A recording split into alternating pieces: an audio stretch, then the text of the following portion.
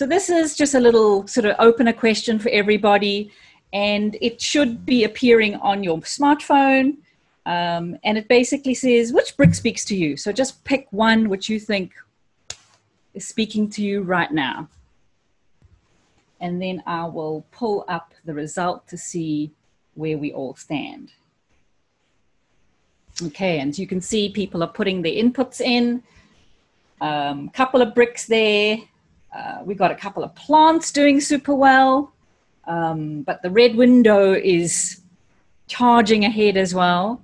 Um, and of course, our little vehicle with the wheels is, is coming along as well. So, just a little little exercise to say to you guys, you know, even uh, something as simple as a brick can actually connote uh, some thoughts and feelings, can even give you a sense of how you're feeling right now. Um, and just again, just to sort of practice this using of Mentimeter, um, I thought we would then ask you one more question with re- relation to these bricks. Um, and it is what is it saying to you? So I, in a in a perfect world, I could ask about all nine or so of these bricks, but we don't have time. So I'm going to just pull up one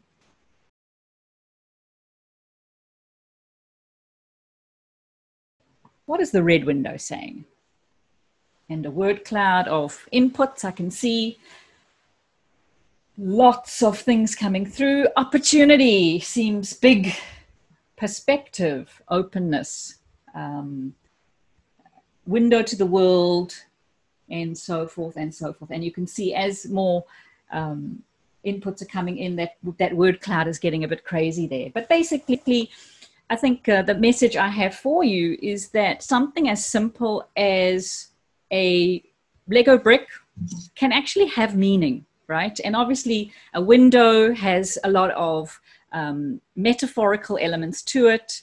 And of course, later when we do the Lego Serious Play session, you'll see that these bricks actually do have meaning. They they provoke certain thoughts in people, um, and we're really just tapping into that for our Serious Play session.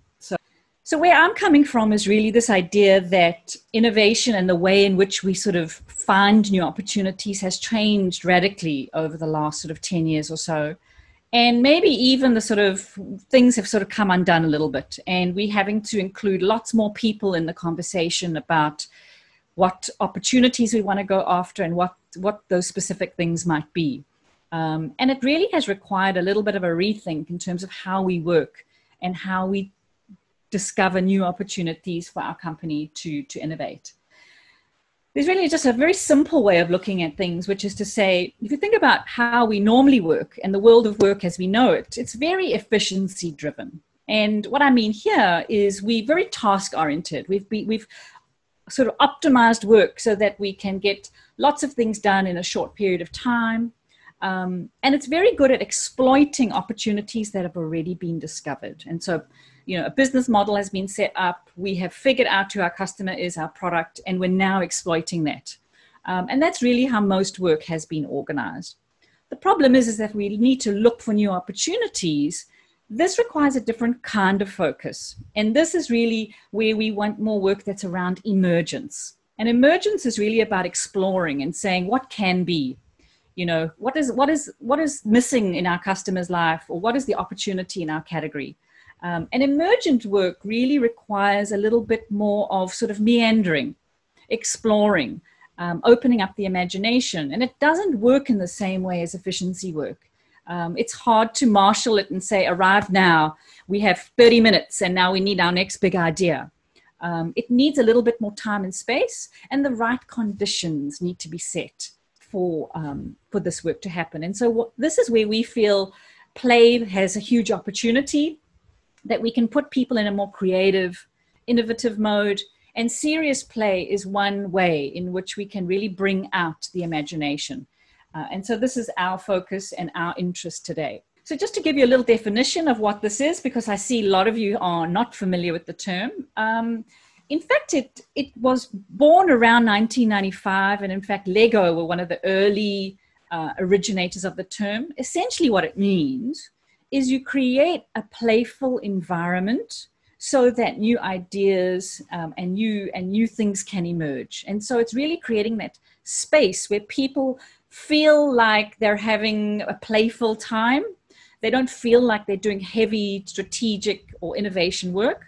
Um, and it really allows things that normally would be inaccessible to, to emerge. So Lego Serious Play being the probably the most uh, popular and, and certainly the leading edge methodology, Darwin and myself both are Lego Serious Play facilitators. And effectively what this is, it's taking the Lego that we're all familiar with, that we might have played with as kids and bringing it into the boardroom, bringing it into the meeting room. Uh, Lego really pursued this because they felt at the time in the mid 90s, Lego wasn't actually doing so well um, that their managers lacked imagination, that they weren't being uh, creative in their solutions. Um, and the thinking was, how can we bring this thing that fires up the creativity of kids and, and bring it to the world of adults? So, how Lego Serious Play actually works is we, we give a question and then we ask the participants to build a model in response to that question. After that, there is some storytelling that happens about what have you built, and then some reflection that happens. So, um, in terms of the actual process, it takes several hours, um, maybe as short as two or three. But often the workshops that Darwin and myself run might be sort of more like a day or a day and a half, and, and even two days, depending on how complex the topic is. So, what we're going to share with you today is very much a simulation of that process. Um, it's really to give you a flavor. Um, and of course, being virtually, adds another dimension to the whole process because you know when you walk into a room full of bricks people's energy changes. You know they they they light up they become sort of kids again. They know they're there to play. And so in a way we get we get a huge helping hand as facilitators when people walk into a room and go ha huh, lego. Um, but of course in a virtual world it is possible to build um, and and there are a couple of hacks and workarounds that we use um, but um, obviously a slightly different uh, experience. Basically, Lego is used for any kind of communication or problem solving. So, where you want people to think about an issue deeply, you want them to lean in and contribute, and really it unlocks knowledge that's sitting latent in people's brains. Okay, so you hopefully a little bit later you're going to see exactly how how that works in terms of where Lego Serious Play has its most benefit, um, if you think of the design thinking process, sort of following these stages of starting off with an understanding of the customer or the empathizing stage, then sort of synthesizing that into some problem understanding or problem reframe, then jumping into where can we go with this? What's the new opportunity? What's the idea? And then trying to uh, experiment around how to manifest that idea into prototype and then obviously to put that in front of customers and test. So there's uh, maybe most of you are familiar with sort of that the, the five step process or thereabouts. Um, essentially there is an emergence phase which is at the beginning which is sort of like trying to understand what's going on and what can be. And then later on there's an exploitation phase. And and certainly lego serious play is very strong in the front end of that process. So, where you're trying to understand the customer, trying to understand what challenge or problem we should uh, tackle, and even generating ideas, Lego Serious Play is very, very strong. Uh, I've never used it on the prototyping and validation side, and I'm sure maybe some people have. If you're simply using it for communication, it definitely would have some value there. But we say at the front end, at the more confusing end, um, Lego Serious Play probably has the greatest impact. Okay.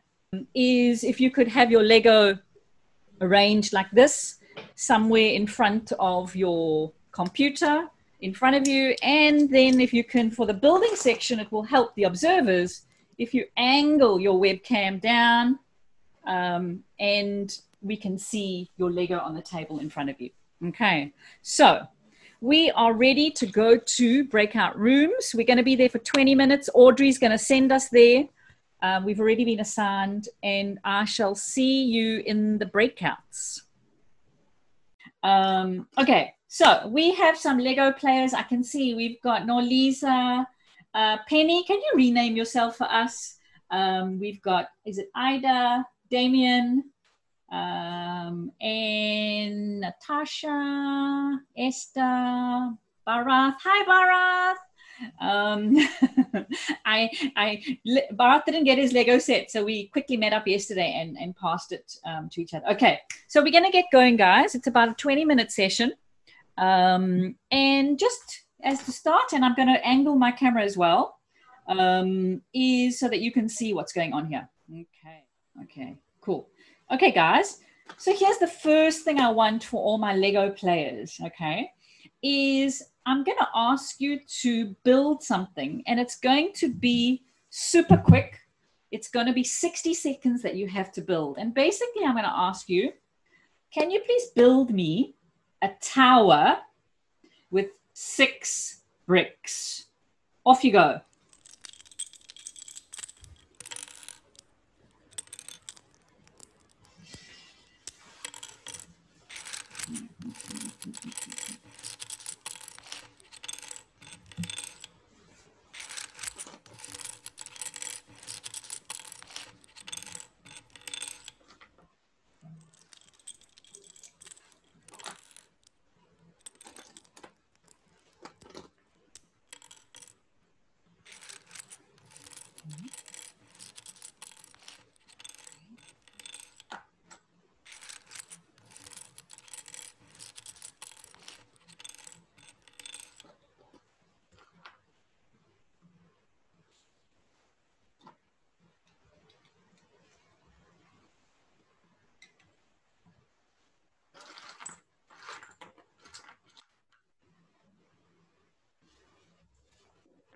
Okay.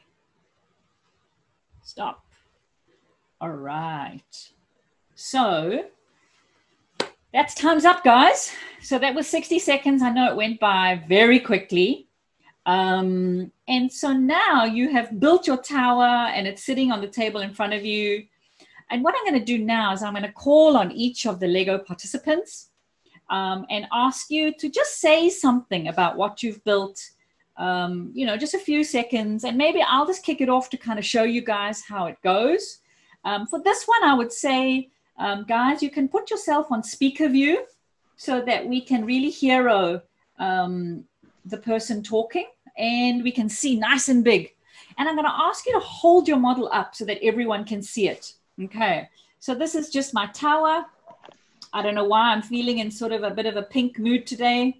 Um, so I've put this sort of flower on the top. You can see it there. Um, I've got some pink bricks here. And I feel like this is, I'm going to call it a tower of love. So this tower is like sending good vibes to everybody. Okay. So that's how it goes. Um, I'm going to ask, can I call on Natasha? If you can uh, make sure you're on speaker view, Natasha. Okay, I think you should and be hear me. There we can see. Yes, yes, yes, we can hear. Okay. So, hi, I'm just Morning. struggling with my camera, but this is my um, tower, and it was very quick and 60 seconds. Um, but actually, what it it's green and actually it's a really solid foundation. That sort of it's strong it's not going to crumble and it's there and then it's sort of growing from from that. So nice. Cool. Now keep that tower. Don't break it down. We're going to use it a little bit later natasha. Okay. All right. So i'm going to call on barath. Tell us um let's see your tower. So um this is my green and yellow tower. Um, I did not intend it to be color coded, but it started just becoming a particular color pattern. I built the base and then I knew that I needed something aerodynamic onto the top. Um, and then I just found pieces in between. So I kind of made a sandwich. Nice. Cool. I love it. Awesome. Good job. You have done well on graduating. How about Marceline? Where are you? Hi. Uh, this is my tower. I had mm-hmm. wanted it to have a solid base, um, but yet have a you know a colorful, vibrant kind of you know top at the top of the tower, um, mm. and in and in between maybe just you know something that was fairly vibrant and cheerful. So the yellow colors. Nice, cool. Thanks, Marcy. How about Norlisa? Hi. Okay, I'm sorry. I'm struggling with my camera. Um, okay, That's so good. That's good. Off, started off picking up um, bricks that are very thick so that the tower will build up to its height. Um, but somehow I ended up picking up very happy colors. So probably this color stand out to me right now. And uh, the shape looks a bit like a sword. Probably uh, mm, some influence from my gaming experience that I've been doing a lot of sword fighting. Yeah. So it ended up oh. looking like this. Yeah. Nice. Okay. Very good. I'm going to ask, um, is it Penny? Penny is playing. Is, do we have Penny here or am I seeing things? I am okay. seeing things. Sorry. Yes, Penny's there. Sorry. Okay. Yeah. This is my towel. You can mm-hmm. see. Uh, I tried to build something that is a bit uh, stick and uh, I always wanted a rooftop garden, so I put a little plant on top. Mm-hmm. Yeah, over here. Yes, oh, that's all. Nice. Yeah. Thank you, thank you, yeah. Paul. How about you? Hi, yeah, this is my tower. Uh, it looks like a mountain, and I was just my intention was just to go as high as possible. So therefore, the stick at the end, and that's all I was thinking. Lovely. Okay. Um, did we hear from Damien? Hi. So actually, this is my tower. I there's not much thought going into it. It's just you know picking up the bricks uh, and just trying to complete within uh, 60 seconds. I just thought you know the logical way is start with a broader base and then taper up to the top with a special so kind of a ladder sort of thing. Yeah. That's it. You got it. Awesome. Um, who have I missed on the Lego? Is it Esther? Do you want to share your tower first?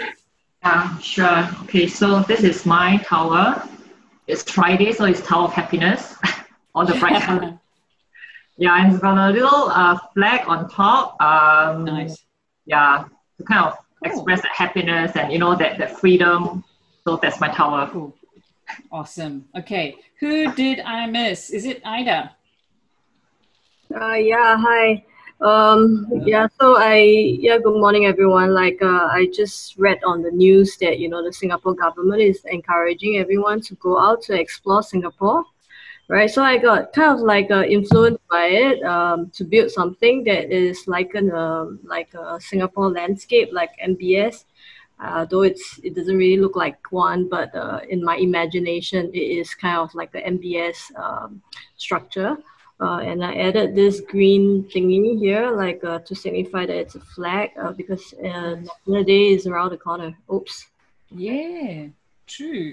Okay, so did we get everyone to tell a little story around their build that was playing? I think that should be everyone. So that's just the first step in Lego Serious Play is really sort of getting comfortable with putting a couple of bricks together. And of course, not everyone's familiar with Lego. Most people are, but not everyone is and being able to put them together and to create something and then to tell a little bit of a story around it is really sort of one of the core principles of Lego Serious Play.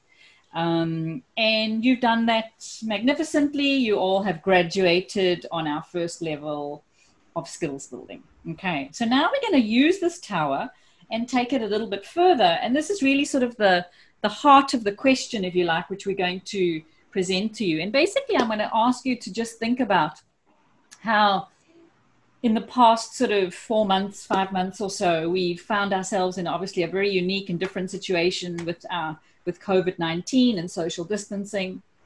And if, like me, like many of you, maybe have uh, had to buy things online.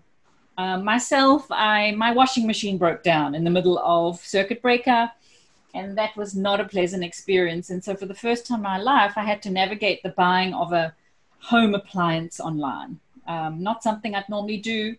Books, um, other products, maybe electronics, but certainly I, I would not have tried to buy a washing machine online. So I want you to think about maybe you did do some online shopping in the local arena, maybe restaurants, cafes, and then obviously retail. You may have had to buy things because shops were closed. Um, so I want you to think about buying online, think about that experience. And I want you to take your tower and I want you to adapt it in some way. So you can add bricks, you can take some bricks away. And I want you to tell me about what kind of experience you want when you are shopping online locally. So what kind of what do you what is it you want when you shop online locally. And so I'm going to give you guys about 90 seconds for that. So it's going to be super quick. Off you go.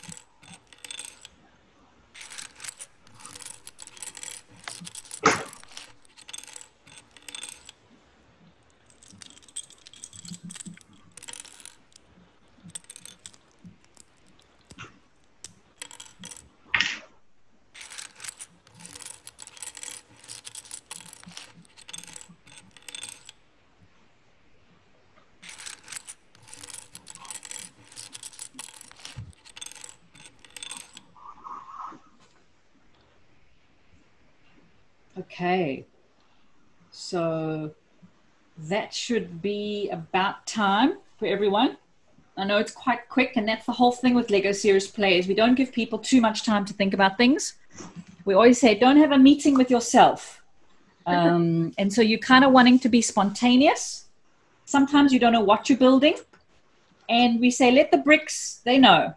And so you just start putting a couple bricks together, and before you know it, um, something emerges. Okay, so we're going to go through the same thing again. I'm going to ask you to bring, uh, hold your model up to the camera and tell us a little bit about what this means in terms of online shopping for you. So, um, can we start again? Uh, maybe we go with Natasha.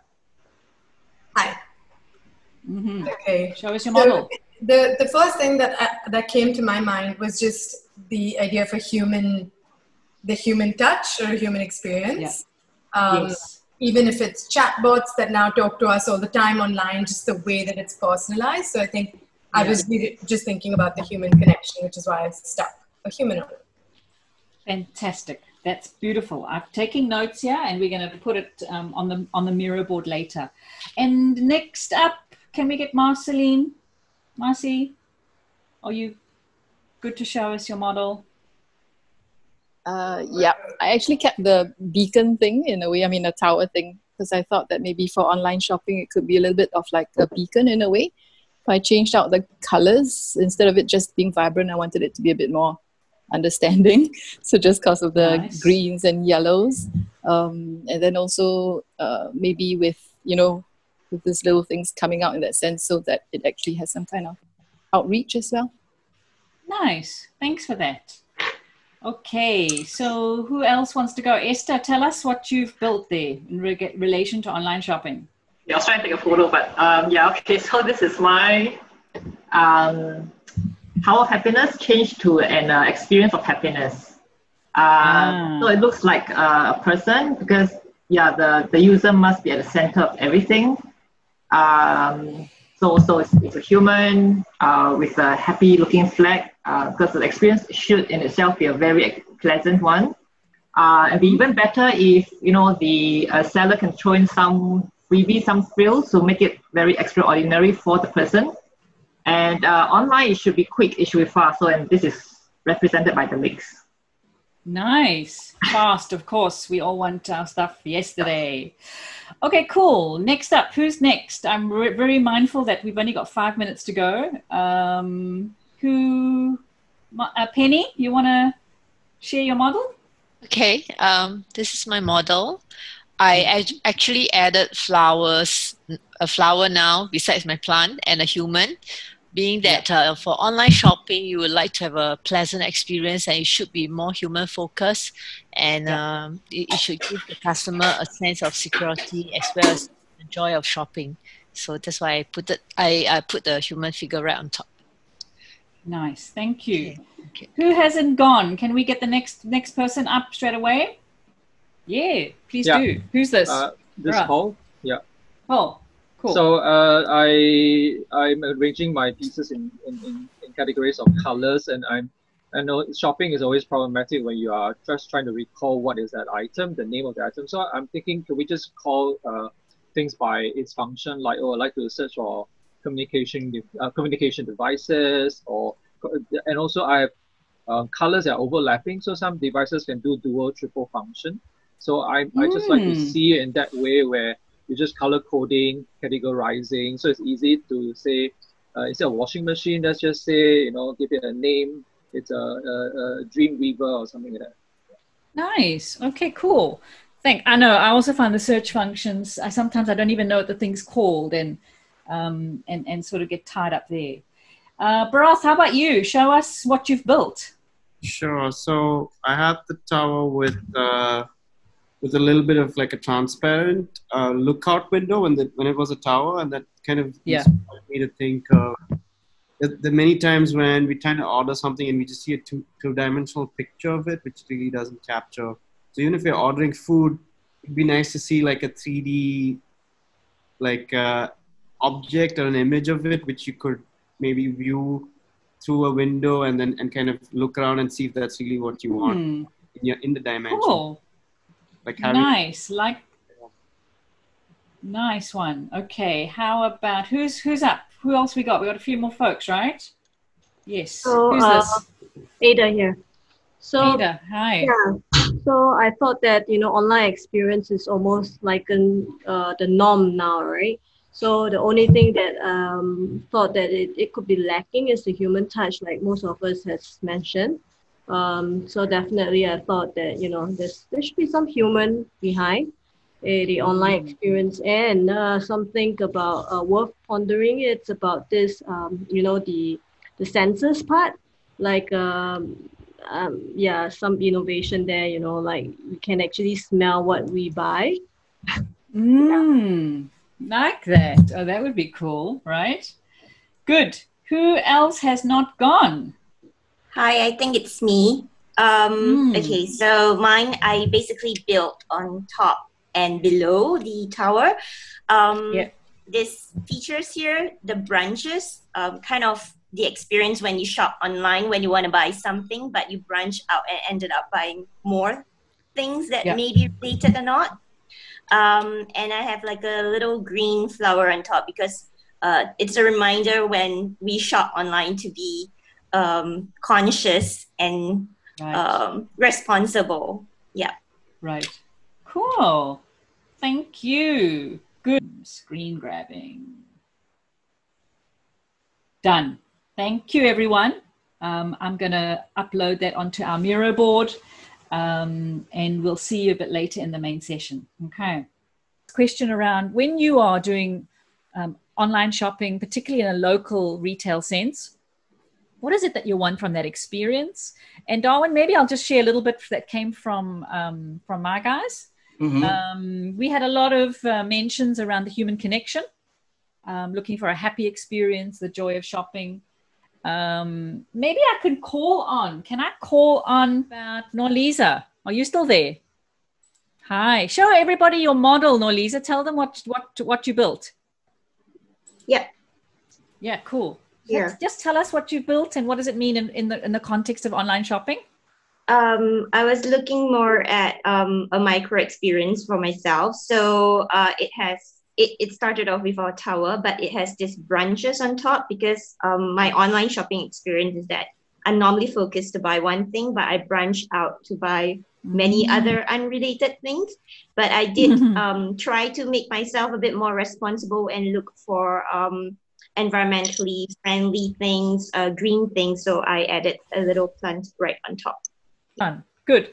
So, look, that was a very quick process, guys. Um, It was like, you know, rapid fire um, Lego Serious Play. Just to just to wrap up on Lego Serious Play, what makes it powerful is that it gets knowledge out of people. So it's latent in people's brains, maybe not even so conscious. Um, but the bricks provoke, and we we we sort of um, are able to elicit a response, particularly because we're dealing with metaphor. Um, also, language is so ambiguous, and sometimes verbally it's hard to explain what's going on in the company or complex system. And so the the visual can be very powerful, um, and it's very memorable. You know, someone can present a model, and even weeks later, you remember what that meant and who said it and why. So that's that's very very powerful as well. Okay. This is what a session looks like. You know, it's normally a bit more intimate. We we like one facilitator to ten people, um, but you can obviously have bigger groups and more facilitators. Uh, we pick the bricks, we build our model. Sometimes we write post-its, um, and we create sometimes a shared model where we we try to have a common understanding of what everyone feels or thinks about a particular topic. This was one I did and I've done several for LVMH here in Asia Pacific. I think the thing about workshops, we know people have got their smart devices, they've got multiple things going on in their minds and multitasking. And I think the thing about serious play is you really cannot multitask. You know, when you're playing Lego and you're building with these bricks, quite frankly, it's the only thing that you're doing. And I think for me, it's one of the big benefits, besides the fact, obviously, that you get breakthrough thinking and people are able to unlock new knowledge. For me, the big thing is that people are present they lean in, they really co create and contribute, and there's nothing else that's really going on in their world. So for me, that's the big, big, big difference.